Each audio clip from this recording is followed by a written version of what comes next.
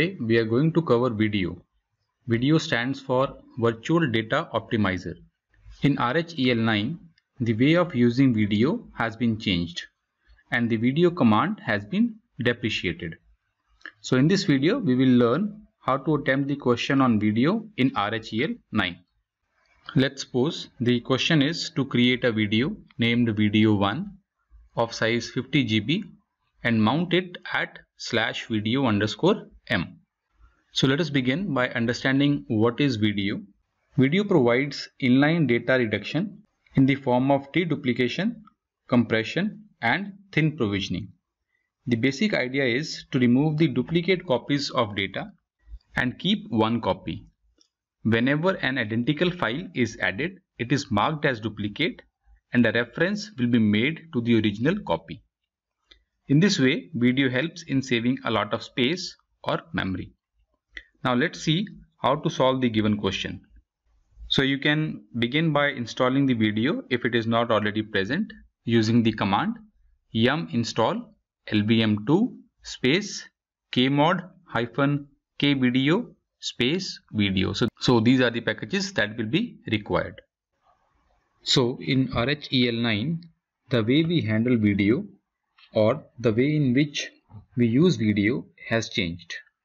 Here we will not be using the vdo command as such but we will follow the same procedure that we followed in creating the logical volume in LVM management. So here also we will use the lv create command but pass a different parameter for VDO. So the initial steps will remain the same and you need to create a physical volume then a volume group and finally a logical volume using VDO. So first I will list all the available disk and show you the disk I will be working with. So I will be using this third available disk NVMe 0N3 of 10 GB size. So the very first command is I need to create a physical volume. So we will write pv create slash dev slash nvm e0n3 okay I should be running the command as root user. So let me switch to the root user account. Alright so I will run the command again pv create slash dev slash nvm e0 n3 right.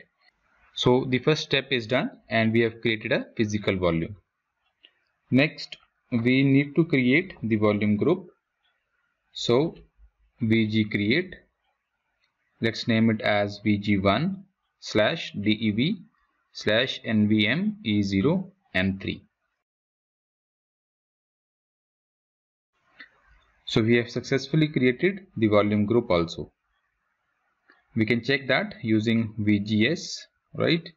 So we have the volume group vg1 now let us go to the final step which is lv create.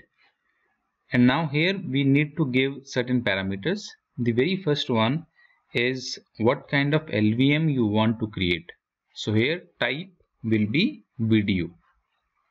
Next we need to specify name. So hyphen hyphen name. Whatever name you want to assign as per the question. Let's say vdo 1. Next we will give the size which is the physical size that is what physical memory you want to map to logical memory. So here let's suppose the physical size is 5 GB that we want to map. The ratio of physical size to logical size ideally is 1 is to 10 so if the physical size is 5 GB, then the logical size that you want to present to the user is 50 GB. So the virtual size in this will be 50 GB. It's not that you have to keep the ratio as 1 is to 10 always. The maximum size allowed for logical size is 256 times the physical size and the upper limit is 4 petabytes but in general it is kept as 1 is to 10. Moreover, both the physical and logical size will be given in the question, so you just follow the instructions. Last parameter is the volume group name from which we want to create this VDO. So if you remember it was VG1. So you can see that the logical volume VD1 vdo1 is created. We can also check using lsblk. You can see here vdo1 is created and the size is 50 GB.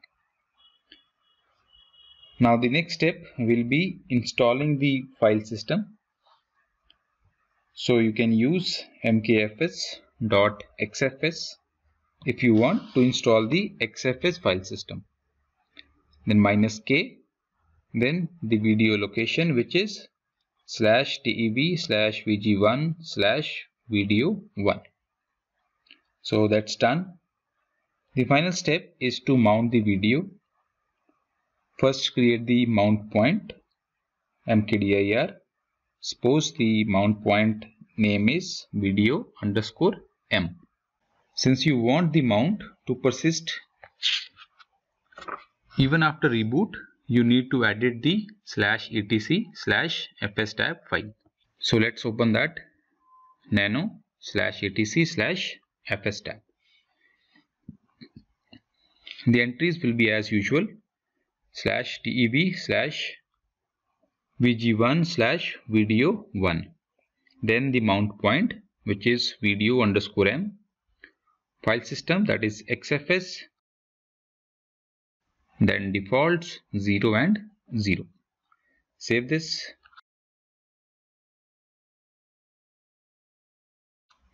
now run mount minus a to check everything is fine no error so the mounting is done successfully. So that's how we will use VDO using LVM method in RHEL 9. I hope you will be able to attempt the VDO question. See you in the next video. Thank you.